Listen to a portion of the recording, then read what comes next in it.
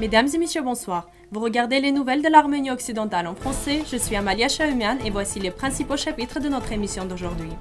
C'est l'ère glaciaire dans le paradis caché de Van en Arménie occidentale.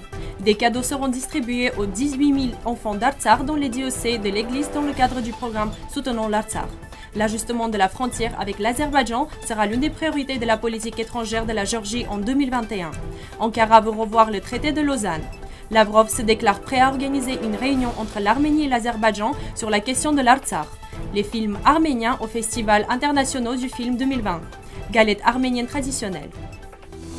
La cascade de Belkri, un paradis naturel dans la province de Mouradi, de Van en Arménie occidentale, a été partiellement gelée par le froid depuis les chutes de neige de la semaine dernière. La cascade qui mesure environ 15 mètres, qui attire l'attention des milliers de visiteurs locaux et étrangers en toute saison avec sa beauté unique, ressemble maintenant à une vue de branches d'arbres glacés recouvertes de cristaux blanches, provoquant une envie de regarder et d'admirer sans fin. La température dans la province de Mouradi est à moins de 18 degrés. C'est pourquoi une partie de la cascade au-dessus de la rivière Bandimash est recouverte de glace le comité de coordination du programme soutenant l'Artsar de la mère siège d'Etchmiadzin, approuvé par sa sainteté Garegin II, patriarche suprême et catholicos de tous les Arméniens, a récemment lancé un certain nombre d'initiatives humanitaires. Par l'intermédiaire du Bureau des services sociaux de la mère siège d'Etchmiadzin, de la nourriture et des articles d'hygiène ont été fournis à 205 familles déplacées d'Artsar dans les diocèses de Chirac, Gourak et Armavir. L'aide sera fournie pour les quatre prochains mois et comprendra également le paiement des factures de services publics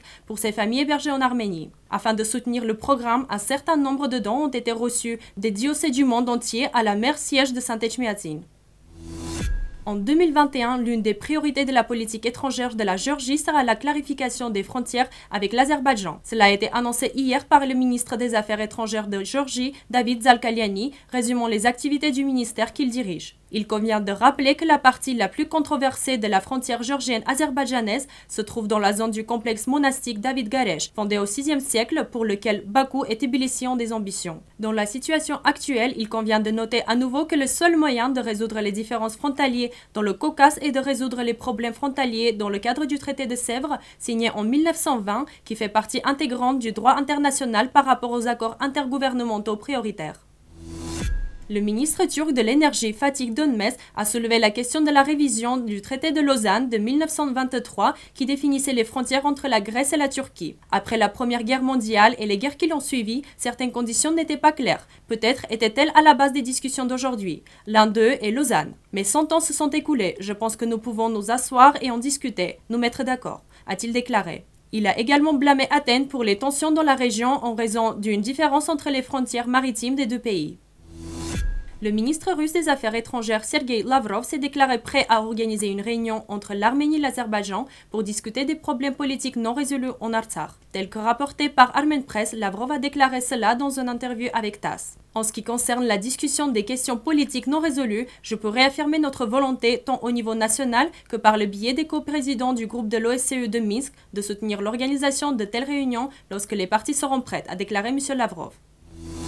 Selon Panorama.am, le film de la réalisatrice Nora Martirassian, Si le vent tombe, a été sélectionné dans la catégorie premier long métrage de la sélection officielle du 73e Festival international du film de Cannes. Ce travail du réalisateur est le premier film de la période post-indépendance qui a été présenté par l'Arménie à Cannes. La plupart des œuvres du film ont été réalisées en Arménie et en Artsakh. Le film du réalisateur Aram Shabazian Chinchik s'est terminé en 2020 et a été inclus dans le programme de la compétition Norhosankner du plus grand festival de films représentatifs d'Asie à Busan.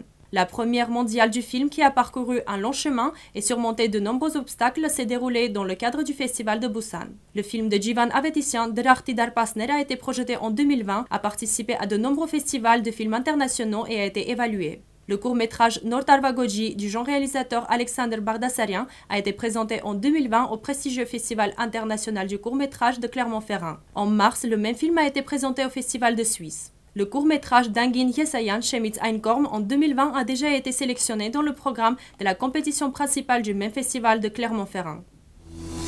Les familles arméniennes traditionnelles avaient l'habitude de faire une galette le soir du Nouvel An, dont le sens est dédié au succès de l'année à venir. La galette est appelée tarehat, pain rond ou ovale. Sa taille dépend du nombre de membres de la famille. Décorer la surface du pain avec des graines et des fruits symbolise l'idée de l'abondance du pain et de fruits de l'année. À l'intérieur, il cache une fève, des pois, des noyaux ou des pièces de monnaie. Selon la tradition, le pain était béni sur le dos du cadet de la famille et c'est lui qui décidait quel morceau appartenait à qui. L'année sera réussite pour la personne qui a tiré au sort au moment de manger.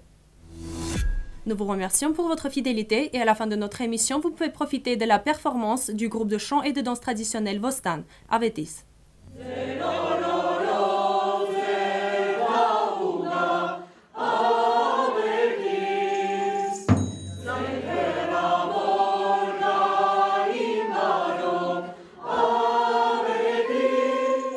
Voilà ce que nous avions préparé pour vous. Nous vous souhaitons une bonne soirée et à bientôt.